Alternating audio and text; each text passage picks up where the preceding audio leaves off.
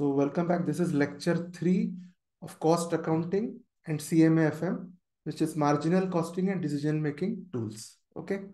So this is for CMA Intermediate June 2023 attempt. चलिए तो हम यहाँ तक पहुँचे थे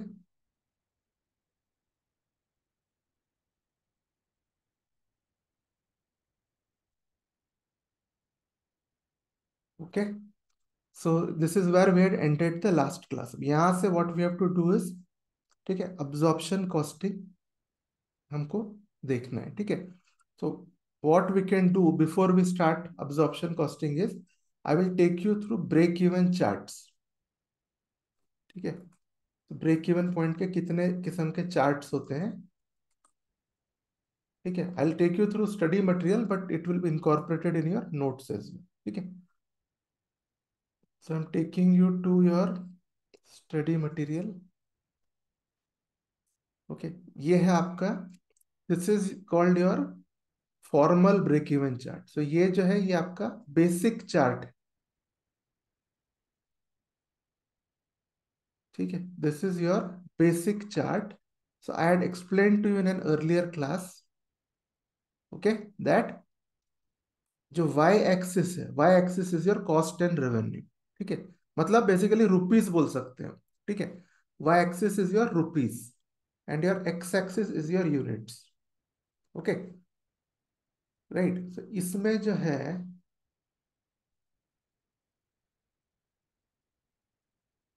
चलिए दिस इज़ ये जो लाइन है आपका this is called as total sales line so I told you in the previous lecture I think that it always starts from zero ठीक है? जब पहला यूनिट आप बेचते हो तो आपको ज़ीरो से कुछ पैसे हाथ में आते हैं right it start from zero this is your total sales line और जो दूसरा है this is your total cost line so ये always start at a certain level on the cost and revenue bar okay क्यों? क्योंकि आपने once you have invested in fixed cost ठीक है? अगर मैंने I have invested in fixed cost और I have to pay fifty thousand rent पहला unit manufacture करने से पहले ये तो मेरा लाइबिलिटी हो ही गया है। This already fixed cost is already my liability correct so which is why ये जो आपका ये है ठीक है? Your cost chart always start from a point जहाँ पे आपका फिक्स्ड कॉस्ट है यानी अगर आप ये जो पॉइंट है ना दिस पॉइंट यहाँ से यहाँ अगर आप मेजर करोगे from year till year okay cost and rupees में this rupees will be equivalent to your fixed cost ठीक है? तो अब देखिए चार्ट्स का मैं बता रहा हूँ कि इम्पोर्टेंस कितना है। इंपॉर्टेंस बहुत ज़्यादा नहीं है, ठीक है? तो आपको यहाँ पे सब जैसे यूनिट्स है zero one two three four ये करके ऐसा यूनिट ये सब बना के ऐसा सब करने की ज़रूरत नहीं। Maximum they ask you to display कोई चार्ट है, कैसा है करके। तो जैसे आपको कोई यू डोंट हैव कोई बारीकी मेजर यूज़ करने की ज़रूरत नहीं। Okay you don't have to use anything like पूरा स्केलिंग करके ये सब करने की ज़रूरत नहीं। जैसे यहाँ पे है ना जस्ट एक वाई एक्सिस बना दिए एक यूनिट बना दिए ये बना दिए maximum they will ask like this ठीक है? It's nothing more than this की ऐसा कोई आपको पूछेगा कि दे विल गिव यू सब स्केल्स एंड ऑल ठीक है? इसको देख के आप चार्ट बनाओ, ठीक है? Like that they will not give you okay so ठीक है तो यहाँ पे in break even chart one thing you should understand always ठीक है? एक चीज़ क्या हम भूल जाते हैं, वो भी मैं बताता हूँ आपको, कि is rupees this this side और दिस साइड ठीक है? ये हमेशा भूलते हैं स्टूडेंट्स ओके सो ऑलवेज एक चीज़ को याद रखिए, दोनों में से एक को आप याद रखिए ओके सो ऑलवेज जैसे मैं personally I use to always remember Y axis is rupees ठीक है? तो वाई एक्सिस रुपीज़ ये मेरे ध्यान में रहता था हमेशा सो एक्स एक्सिस यूनिट ये पहचानने में मेरे को देर नहीं लगती थी okay because I knew surely that this is rupees cost and revenue is Y axis okay so just remember one thing then you will remember the other so now sales line always comes from zero and ठीक है, ये एक करेंगे, दूसरी एक चीज़ है, आपका fixed cost line इसको बोलते हैं। This is your fixed cost line ठीक है? ये हमेशा एक it will be parallel to the units क्योंकि इसका अमाउंट सेम है। It is the same total amount for all units so, इसीलिए it will always be straight. It is parallel to the units. ठीक है, यानी एक्स एक्सिस से parallel रहेगा आपका टोटल कॉस्ट लाइन ठीक है? अब यहाँ तक हो गया। Now here the point where the total cost line intersect with the total sales line ये वाला पॉइंट ठीक है? This is your break even point why क्योंकि इस पॉइंट में आप जाओगे तो रुपीज़ में if you go cost will also be same revenue will also be same and when cost and revenue are same it is called as break even point ठीक है? So where it in intersect that is your break even point यहाँ से अगर आपने from here, if you draw a perpendicular to your rupees जो Y axis जो है, ठीक है? Draw perpendicular to the to your Y axis ठीक है? तो आपको ये यहाँ क्या मिलेगा ये? Break even point in rupees if you draw perpendicular to the X axis you will get break even points in units ठीक है? ये है हमारा simple break even chart one more thing is angle of incidence ठीक है? ये वाला angle is angle of incidence so I just show you ये जो एंगल है दिस यहाँ पे जो एंगल बन रहा है okay this is called angle of incidence okay angle of incidence is very important and is asked in various ways ठीक है? आपको मालूम होना चाहिए ये एंगल ऑफ़ इंसिडेंस ओके तो ये है और यहाँ पे जो है आपका देखिए यहाँ पे दो पार्ट में डिवाइड किया गया है ए एंड बी ठीक है? This is not very important from your point of view okay so ये जो है, यहाँ से जो इसके ऊपर जब जाए, जाएँगे ना, ठीक है? When you go from here and above you will start earning profits ठीक है? तो इसके ऊपर हम जाते हैं जब यहाँ तक तो it is no profit no loss when you go up from here you will start earning profits ठीक है? Okay from as a region part ये बताया कि जैसे बी जो है दिस पार्ट ये जो है, ये आपका प्रॉफिट मेकिंग पार्ट है और ए इज़ दिस यहाँ से यहाँ, ठीक है? इसको कुछ नाम नहीं देते हैं सच ठीक है? But this area is the area of losses ठीक है? ये जो एरिया है आपका, ठीक है? This is the area of losses तो आपको इतना, इससे कोई मतलब नहीं है, ठीक है? दिस ये जो ए और बी से आपको कोई मतलब नहीं। ठीक है? You only need to know this much जो ऊपर का जो डायग्राम है यू शुड नो दिस ठीक है? Okay so this is called your formal break even chart ठीक है? And this is angle of incidence ये जो ये जो एंगल आप देख रहे हैं यहाँ पे okay this is your angle of incidence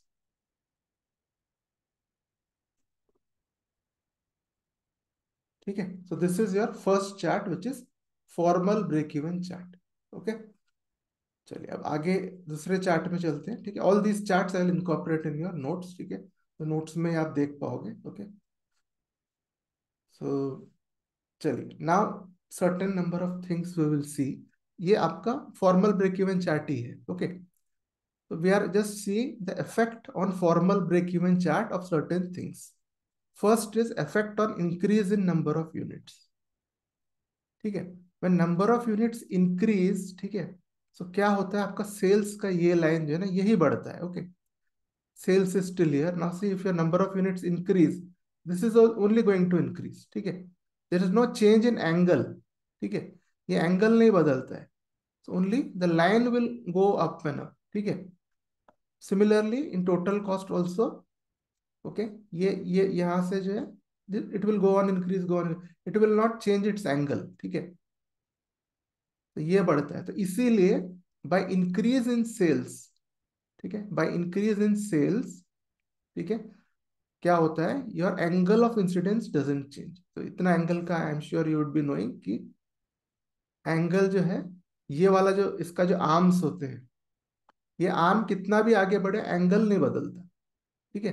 ये कितना भी आगे बढ़े, ये कितना भी आगे बढ़े एंगल नहीं बदलता, ये एंगल नहीं बदलता correct so by increase in number of units, there is no change in angle of incidence.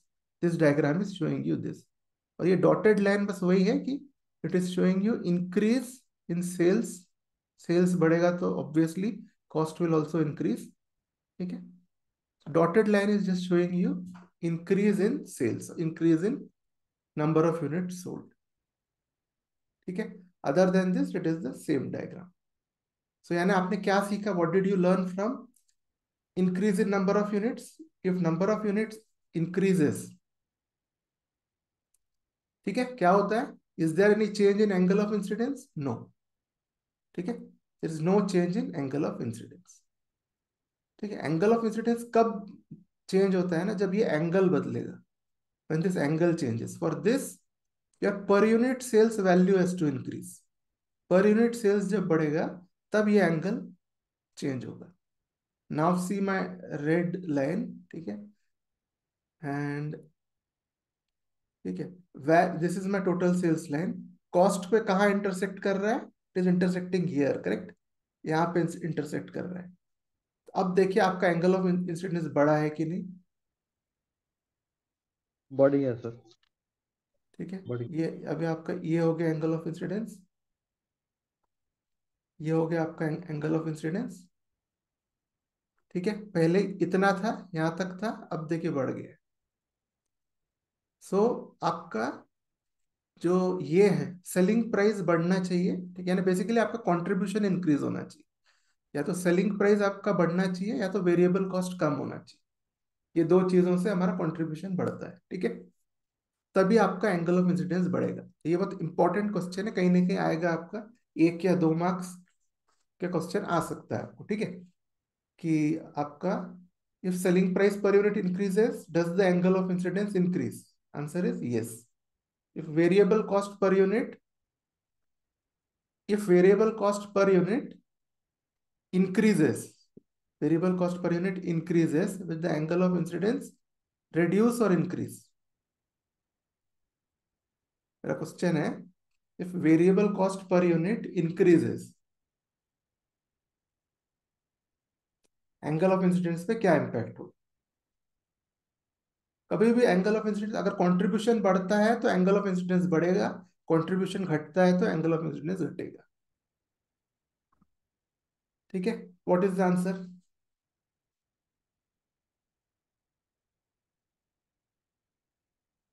angle of angle of incidence बढ़ेगा सर एंगल ऑफ़ इंसिडेंस बढ़ेगा अगर वेरिएबल कॉस्ट बढ़ेगा तो। तो? वेरिएबल कॉस्ट बढ़ेगा तो कंट्रीब्यूशन बढ़ेगा या घटेगा?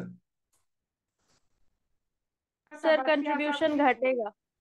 कंट्रीब्यूशन घटेगा। कंट्रीब्यूशन घटेगा तो एंगल ऑफ़ इंसिडेंस घटेगा या बढ़ेगा? सर घटेगा। घटेगा। So angle of incidence contribution के साथ ही चलता है ठीक है? कंट्रीब्यूशन आपका बढ़ता है तो एंगल ऑफ़ इंसिडेंस बढ़ता है कंट्रीब्यूशन घटता है तो एंगल ऑफ़ इंसिडेंस घटता है। बस इतना याद रखना है आपको। जो भी क्वेश्चन पूछे उसका आप नेट निकाल के आप देखिए कि कंट्रीब्यूशन बढ़ रहा है कि घट रहा है? बस, उसके बेसिस में इसका आंसर कर सकते हैं। ठीक है? सो हम लोग बाद में जो है, ठीक है, आपके टेस्ट में भी ये सब क्वेश्चंस आएँगे मार्जिनल कॉस्टिंग के ओके चलिए एंड सो ये है हमारा नेक्स्ट ठीक है? नेक्स्ट जो है, मैंने अभी आपको बताया वो है इंक्रीज इन सेल्स ठीक है? Increase in sales due to increase in selling price अब देखिए डॉटेड लाइन यहाँ से आ गया मैंने अभी बताया था आप लोगों को। ठीक है, ये डॉटेड लाइन जो है, ये यहाँ से गया है, ठीक है? और यहाँ यहाँ पे हमने बोले थे कॉस्ट लाइन से, यहाँ पे कट कर रहा है, ठीक है?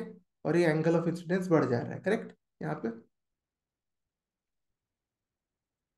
ये देखिए एंगल ऑफ़ इंसिडेंस एक बार घर में ऐसे रफ ड्रॉ करके देखिए no need of scale and और anything just draw it once and see whether you understood what is angle of incidence, okay? What is total sales line, total cost line, ठीक है?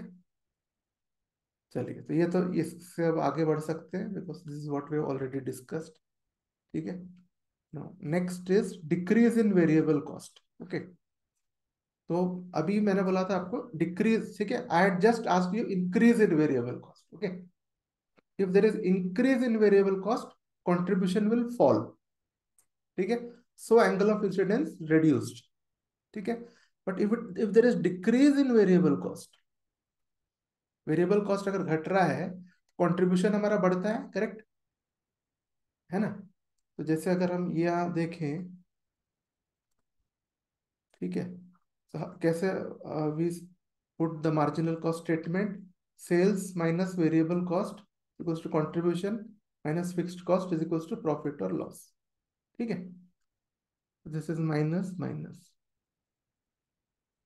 okay if sales is say hundred variable cost is say sixty ठीक है?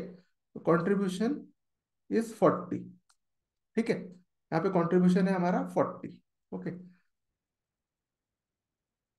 और अगर ये contribution है हमारा तो इफ़ अगर वेरिएबल कॉस्ट बढ़ता है seventy this becomes less correct ये है इंक्रीज इन वेरिएबल कॉस्ट के लिए। आपका कॉन्ट्रीब्यूशन घटेगा। घटेगा तो कंट्रीब्यूशन के साथ ही एंगल ऑफ़ इंसिडेंस भी घूमेगा। ये घट रहा है तो angle of incidence will also reduce okay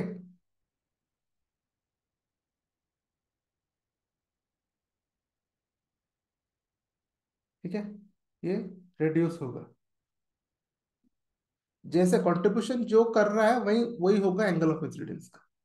okay तो नाउ अगर इफ़ मैं वापस इसमें आता हूँ, ये हमारा था। तो if we say variable cost reduces, so let's say ये थर्टी हो गया। कंट्रीब्यूशन इंक्रीजेस करेक्ट तो ये तो सेल्स और वेरिएबल कॉस्ट में इट इज़ ऑपोजिट कि ये कॉस्ट है और ये रेवेन्यू है। अगर मैंने यही चीज़, अगर वेरिएबल कॉस्ट अगर घट, बढ़ रहा है कंट्रीब्यूशन घट रहा है, लेकिन सेल्स बढ़ रहा है अगर कंट्रीब्यूशन बढ़ रहा है। ठीक है?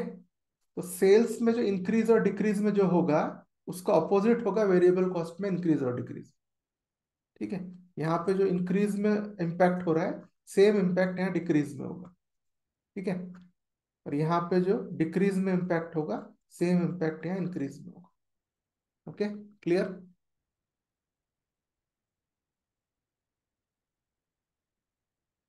ठीक है।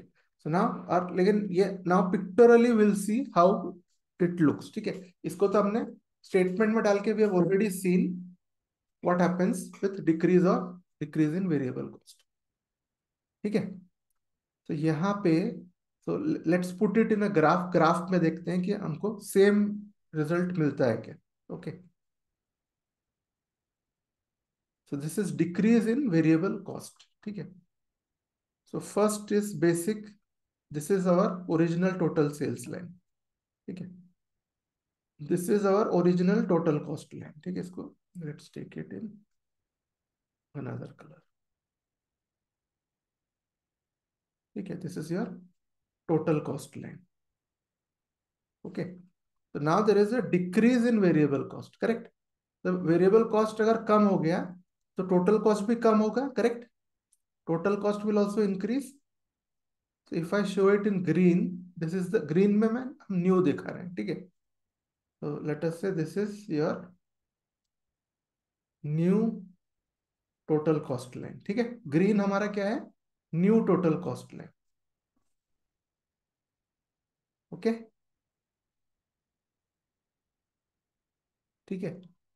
अब हम देखने की कोशिश करेंगे ओके ये हमारा न्यू टोटल कॉस्ट लाइन का ये पॉइंट है आपका। Point of intersection between total cost line and total sales line ठीक है? तो इसका एंगल ऑफ़ इंसिडेंस ये है, ठीक है? यहाँ पे इसका एंगल ऑफ़ इंसिडेंस है। और पुराना जो था, हमने फ़र्स्ट किए थे, उसका ये है राइट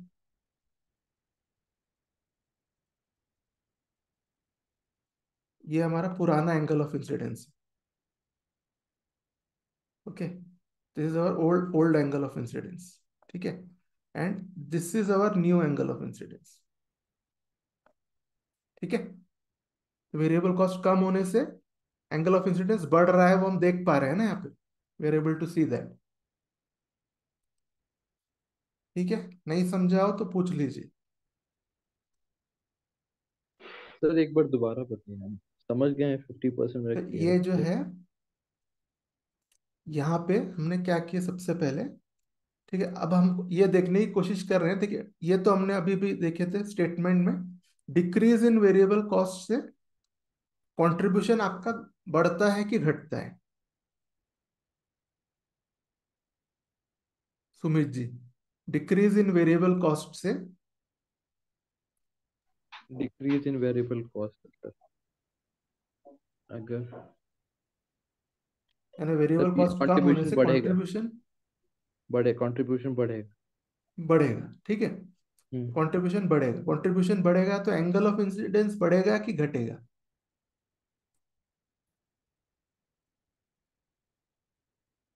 अभी बोला था मैंने कई बार कि कंट्रीब्यूशन के साथ साथ चलता है आपका एंगल ऑफ़ इंसिडेंस कंट्रीब्यूशन बढ़ता है तो एंगल ऑफ़ इंसिडेंस बढ़ेगा कंट्रीब्यूशन घटता है तो एंगल ऑफ़ इंसिडेंस घटेगा। ओके। तो क्या होगा बताइए डिक्रीज इन वेरिएबल कॉस्ट में एंगल ऑफ़ इंसिडेंस बढ़ेगा कि घटेगा? बढ़ेगा सर। आप बोले ना दोनों साथ कर सकते हैं। अच्छा तो अब वो बढ़ेगा जो हमने देखे हैं वो ये चार्ट में हम देख पा रहे हैं क्या? वो देखना है हमको। ठीक है? तो यहाँ पे आपका ओरिजिनल जो है ये आपका टोटल सेल्स लाइन है ठीक है? और ये जो है ये आपका टोटल कॉस्ट लाइन है ओरिजिनल ठीक है? ओरिजिनल ये दो लाइन है हमारे जो मैंने ब्राउन में दिखाया हूँ। और ये है इसका एंगल करेक्ट? ये दोनों का इंटरसेक्शन का एंगल ये है दिस इज़ द एंगल ठीक है? क्या बोलेंगे इस एंगल को?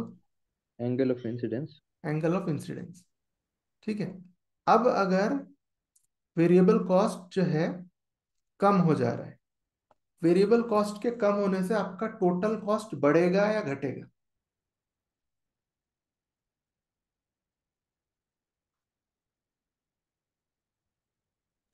क्या बोले सर? फिर से बोलिए। वेरिएबल कॉस्ट के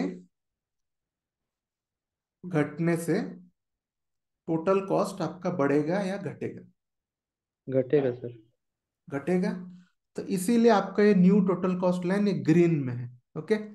तो इस लाइन से कम है, घटेगा ना इसीलिए। ठीक है? इसलिए जो ग्रीन वाला लाइन है आपका, ये ये नीचे है आपके पुराने टोटल कॉस्ट लाइन से। ओके?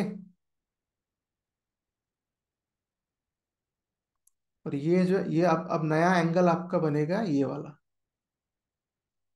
ठीक है, नया एंगल अब बनेगा ये वाला, ये इसका एंगल इसका ये वाला जो लाइन है ये वाला एंगल है नया एंगल ठीक है? समझ गया कि नहीं समझा? यस सर अगर अगर वेरिएबल कॉस्ट अगर सर घटता है तो एंगल एंगल ऑफ़ इंसिडेंस बढ़ता है जस्ट रिवर्स हाँ मतलब जो आपको क्या करना है आपको एंगल ऑफ़ इंसिडेंस को कंट्रीब्यूशन के साथ रखना है कभी ठीक है? आपको अगर वेरिएबल कॉस्ट बड़ा घटा अगर बताएगा या सेलिंग प्राइस बड़ा घटा बताएगा, उसको आप कंट्रीब्यूशन पे इम्पैक्ट निकाल सकते हैं आप उसका इजीली सेलिंग प्राइस बढ़ा तो कंट्रीब्यूशन बढ़ेगा वेरिएबल कॉस्ट बढ़ा तो कंट्रीब्यूशन घटेगा वेरिएबल कॉस्ट घटा तो कंट्रीब्यूशन बढ़ेगा, वो तो हम निकाल सकते हैं। कंट्रीब्यूशन के साथ एंगल ऑफ़ इंसिडेंस को इक्वेट कीजिए बस। ठीक है? जी सर। चलिए next is change in fixed cost ठीक है चेंज इन फिक्स्ड कॉस्ट से क्या होता है? ये देख रहे हैं।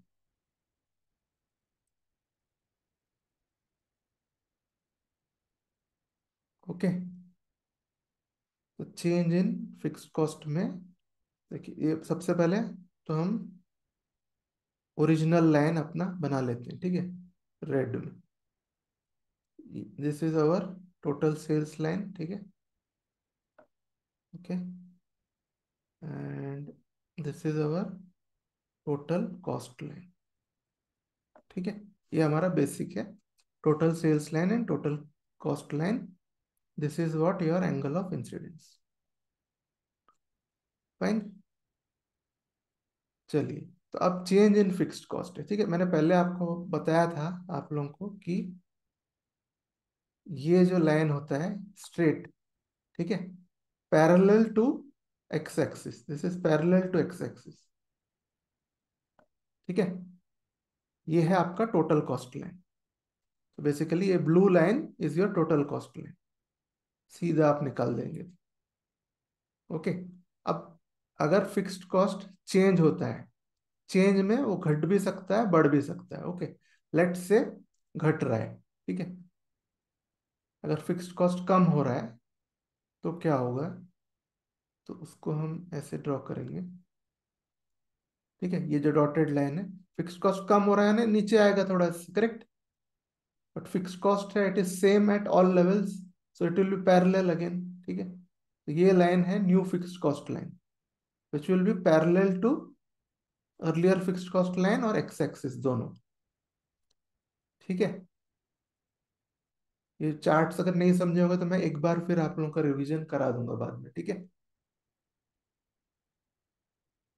तो तो ये है आपका नया new total cost new fixed cost line brown वाला, ठीक है? अब यहाँ पे जैसे आपका ये फिक्स्ड कॉस्ट लाइन था ब्लू और सेम एंगल से ऊपर जा रहा था करेक्ट ये जिस एंगल से ऊपर जा रहा था ना यहाँ okay this was going up because of variable cost ना variable cost is the same ठीक है?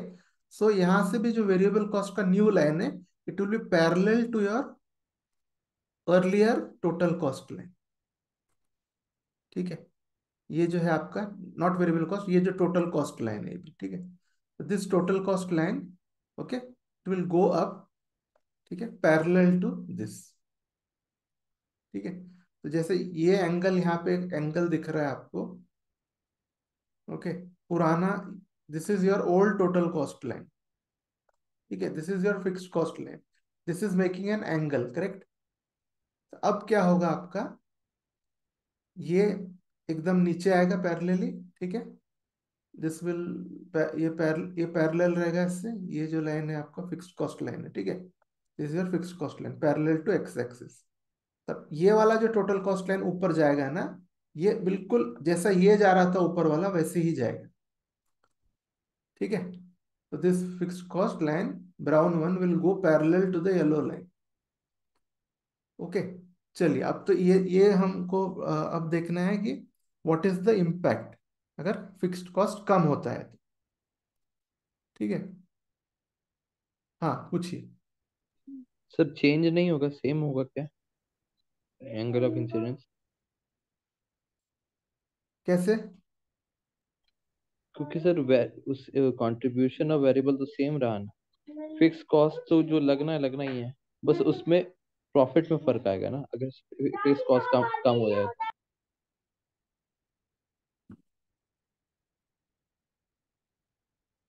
नहीं अभी देखिए ये जो आपका लाइन है ठीक है? जो कंट्रीब्यूशन है वो चेंज नहीं होगा। ठीक है? लेकिन प्रॉफिट जो है वो चेंज हो जाएगा करेक्ट कंट्रीब्यूशन आपका चेंज नहीं होगा बट प्रॉफिट आपका चेंज हो जाएगा। ठीक है? तो इस केस में जो है ना फिक्स्ड कॉस्ट के केस में आपको ये देखना है प्रॉफिट देखना पड़ेगा। ठीक है? तो यहाँ पे अगर देखेंगे इसका ये है हमारा red is the total sales ठीक है? क्या न्यू टोटल कॉस्ट है ये? ये पॉइंट है न्यू टोटल कॉस्ट लाइन ठीक है? तो इसका एंगल है ये.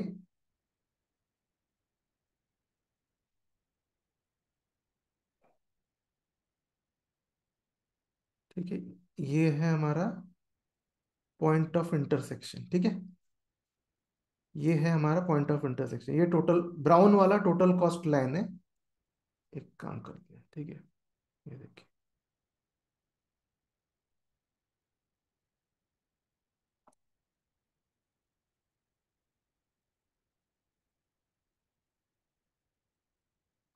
ठीक है, ये हो गया टोटल कॉस्ट लाइन और ये हो गया टोटल सेल्स लाइन पुराना, ठीक है? और ये हो गया हमारा एंगल ऑफ़ इंसिडेंस ओके, ये हो गया हमारा एंगल ऑफ़ इंसिडेंस ये वाला। अच्छा अब क्या हो रहा है? नेक्स्ट वाला हमारा, ये लाइन बन रहा है, ठीक है? नेक्स्ट वाला जो है हमारा, ये वाला लाइन बन रहा है, ठीक है? तो ये लाइन में आप देखेंगे अभी, ठीक है? इसके साथ जा रहा है। ओके तो ये एंगल ओके, ये ये एंगल बड़ा है। कि ये एंगल बड़ा है। क्या बड़ा दिख रहा है आपको अभी तो मैंने based on visual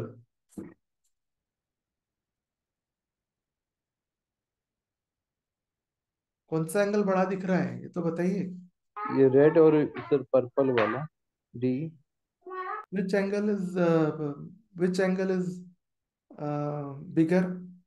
Priyanka? Dani ji के साथ क्या हुआ? यस सर हाँ कौन सा एंगल बड़ा दिख रहा है? सर वो पर्पल वाला। मतलब ब्लू और पर्पल के बीच वाला। ब्लू और पर्पल. ये बड़ा दिख रहा है correct yes sir yes sir ये बड़ा Yes, दिख रहा है। Sanjana which is looking bigger among these two yes sir sir तो ब्लू वन मतलब एंगल। ये वाला ये Sir. एंगल बड़ा दिख रहा है कि ये एंगल बड़ा दिख रहा है? नहीं द सेकंड वन सेकेंड में हम्म। हाँ सुमित जी? सर वही हाँ, वही बोले थे ना रेड वाला और पर्पल वाला बीच का जो है हाँ ये तो ये वही बड़ा दिख रहा है। जो जो एंगल बड़ा दिख रहा है ना वो ज़्यादा प्रॉफिटेबल है। ठीक है? वो जो मैंने आपको जो बताया था जो एग्जांपल पहले वो सेल्स और वेरिएबल कॉस्ट के लिए। तो उसमें आप कंट्रीब्यूशन को देख के आप पहचान सकते हैं। लेकिन यहाँ पे फिक्स्ड कॉस्ट कंट्रीब्यूशन लाइन के नीचे है ना sales minus variable cost is contribution उसके नीचे फिक्स्ड कॉस्ट इसलिए इसमें आपको कंट्रीब्यूशन तो दोनों में सेम दिखेंगे, ठीक है? इसका ये मतलब नहीं कि एंगल ऑफ़ इंसिडेंस सेम रहेगा, क्योंकि इन दी एंड ये जो एंगल्स है आपकी प्रॉफिटेबिलिटी बता रही है। ठीक है? तो चेंज इन फिक्स कॉस्ट जैसे कम हुआ फिक्स कॉस्ट तो प्रॉफिटेबिलिटी बढ़ेगा। वैसे ही अगर ज़्यादा हुआ फिक्स कॉस्ट तो आप देखेंगे तो उसमें भी यही होगा। इसमें अगर फिक्स कॉस्ट बढ़ गया तो खर्चे बढ़ गए ना तो आपका प्रॉफिट घट गया तो एंगल ऑफ़ इंसिडेंस कम होगा, ठीक है? ये सारे जो आपके चार्ट हैं, हम लोग विल रिवाइज इट ठीक है? चलिए आज समझ लीजिए। First we are doing will complete this chapter when we complete this chapter मैं एक बार फिर से आपका सारे चार्ट्स का मैं रिवीजन कराऊँगा, ठीक है? चलिए। सो देन ये है आपका लास्ट दिख रहा बड़ा कॉम्प्लेक्स है, लेकिन ऐसा कुछ है नहीं, ठीक है? This is called as non linear break even chart this is called as non linear break even chart ठीक है? नॉन लीनियर का मतलब है कि स्ट्रेट लाइन में नहीं है, ठीक है? ये स्ट्रेट लाइन में नहीं है, बस वही मतलब है। तो इसमें ये क्या होता है ना, ठीक है? रियलिस्टिकली ऐसे सिचुएशंस मिलते हैं हमको। नॉर्मली व्हाट वी सॉ ठीक है? ओके। ये ये अगर सेल्स लाइन है, ठीक है? ये कॉस्ट लाइन है, ऐसा हमने देखा था correct straight straight lines but कभी कभी क्या होता है ना रियल रियलिटी में ये होता है। ओके?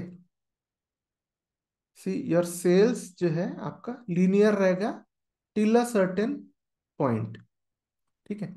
कुछ पॉइंट तक के इट विल बी लीनियर ठीक है?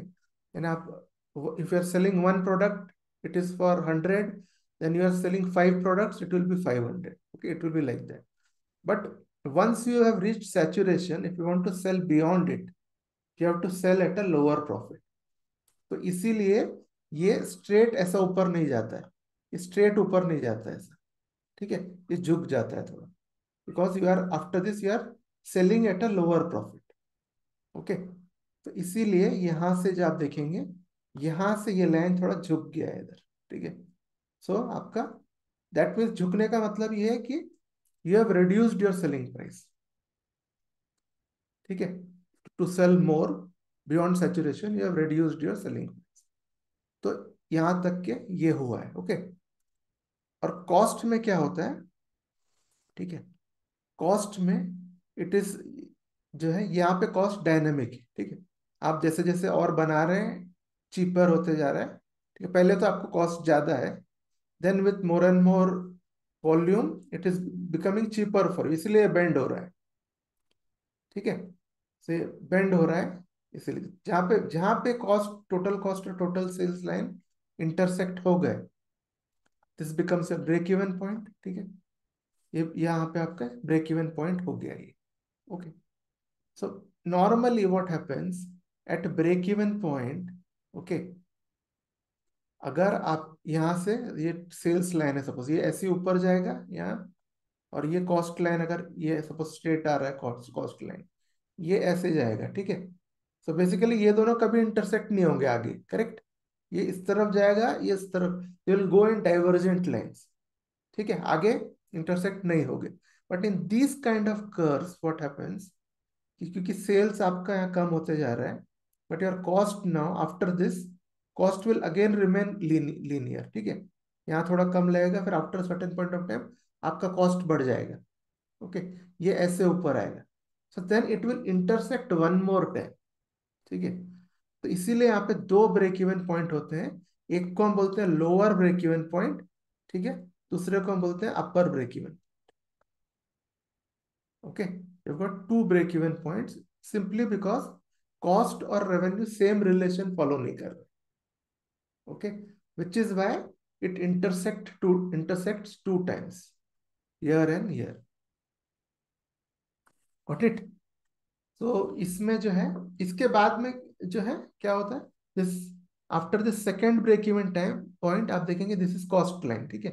ये कॉस्ट आपका इधर जा रहा है ओके ठीक है, ये सॉरी ये आपका सेल्स लाइन है। सेल्स आपका नीचे हो गया कॉस्ट आपका ऊपर हो गया। यानी ये लॉस मेकिंग प्रोडक्ट हो गया अभी। करेक्ट ये मैं बोल रहा हूँ कि after this point if you see ये जो है ना this is your revenue okay and cost is now moving up यानी अभी कॉस्ट आपका बढ़ गया। इस सेकेंड ब्रेक पॉइंट के बाद कोई मतलब ही नहीं रहता ओके okay? इसको करने के लिए, ठीक है? After this second break even point okay you have ये प्रोडक्ट को आगे चलाने में कोई मतलब ही नहीं होता, क्योंकि वो आपको लॉस ही देने वाला है। अब बात आती है कि यहाँ पे टू ब्रेक इवन पॉइंट्स है। This is one break even point this is another break even point okay तो हम मैक्सिमम प्रॉफिट का जोन किसको माने किसको माने, ठीक है? इसके पहले तो हो नहीं सकता, ठीक है? इसके पहले तो हो नहीं सकता, क्योंकि इसके पहले तो लॉस है राइट ओके okay. और इसके बाद भी लॉस है. Beyond this also is a loss this is also loss ये बीच में ही कहीं होगा मैक्सिमम प्रॉफिट का करेक्ट तो ये आपका, ये लाइन क्या है हमारा? ये रुपीज़ वाला लाइन है बेसिकली करेक्ट ये जो लाइन है हमारा, ठीक है रेवेन्यू एंड कॉस्ट मतलब इन रुपीज़ बेसिकली है ना? ये रुपीज़ वाला लाइन है. तो इसीलिए यहाँ इसमें और इसमें जो मैक्सिमम डिस्टेंस रहेगा ना, वो आप देखेंगे तो उतना ज़्यादा रुपीज़ आपको मिलेंगे यहाँ से, ठीक है? So the point which has the maximum distance between total sales and total cost line ठीक है? That is the point of maximum profit तो इस पॉइंट में आपको इसका ये बंद कर देना चाहिए production at this point okay one minute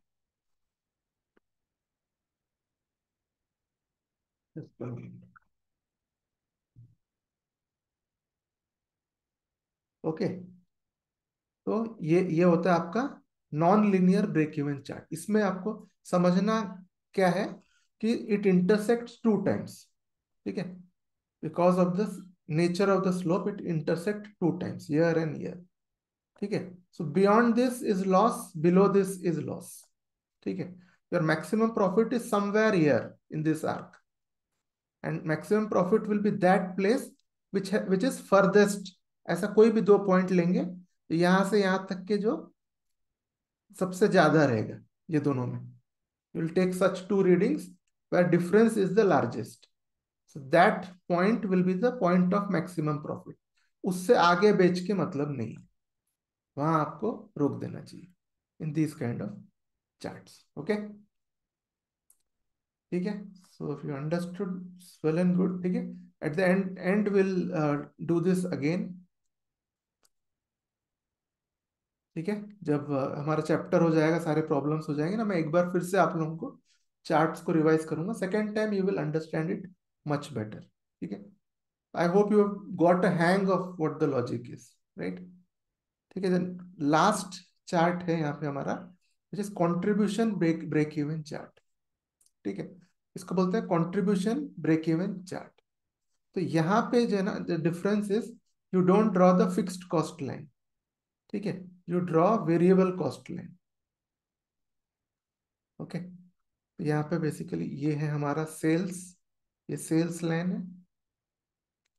Okay this is your total cost line ठीक है? तो इसके बाद में यहाँ पे जो है ना, इसमें, इस चार्ट में इसके पेक्युलरिटी है you draw the variable cost line ठीक है? तो ये वेरिएबल कॉस्ट लाइन आपके टोटल कॉस्ट लाइन से पैरेलल रहता है। ओके ये हमेशा टोटल कॉस्ट लाइन से पैरेलल रहेगा। इसमें जो है, ये आपका green is the variable cost line ठीक है? Orange is the fixed total cost line ठीक है? सो किसी भी एक लाइन में जहाँ दोनों इंटरसेक्ट करेंगे, ठीक है? वन स्ट्रेट लाइन में वेर द इंटरसेक्ट आप अगर मैं एक एक लाइन बना रहा हूँ मैं I am making one line where both of them intersect okay यहाँ इंटरसेक्ट कर रहे हैं। यहाँ से यहाँ जो है, ये वेरिएबल कॉस्ट का है, ये टोटल कॉस्ट है। So, ये difference between these two rupees would nothing would be nothing but the fixed cost ये आपका फिक्स्ड कॉस्ट हो जाएगा एक्चुअली ये वाला जो, ये दोनों के बीच में का। और ये this is sales line red is sales line ठीक है? तो आपका जो सेल्स लाइन है सेल्स लाइन जो इंटरसेक्ट कर रहे हैं सेम लाइन में, ठीक है? वो और वेरिएबल कॉस्ट अगर आप इसका डिफरेंस निकालोगे that is this minus this if you see यहाँ से यहाँ तक। इसको अगर यहाँ पे रीड करेंगे हम that will be contribution because it is sales minus variable cost ठीक है? इस तरह से ये बनता है। तो वी विल इसका पूरा हम फिर से डिस्कशन करेंगे okay your charts at the end of the chapter ठीक है? So I hope you will you have got a hang of it कि कैसे चार्ट्स काम करते हैं ठीक है? ये इतने ही चार्ट्स आपके हैं basically these are the charts you need to know okay कोई फाइनर प्लॉटिंग वगैरह कुछ नहीं है ठीक है? So that's it thank you all so I will log off now okay you have next class from nine ten okay